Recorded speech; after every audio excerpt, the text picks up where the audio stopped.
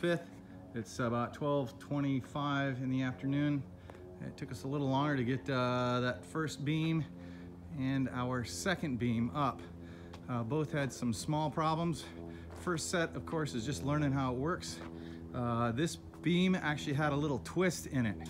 So uh, because it had a little twist in it, it was rough fitting into the brackets.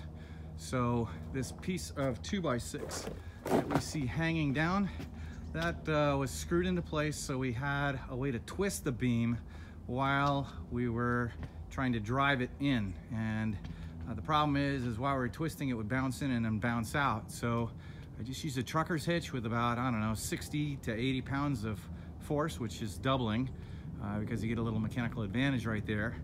And, uh, and then when I pounded, it's seated instantly. So, well, two beams are in, it's lunchtime.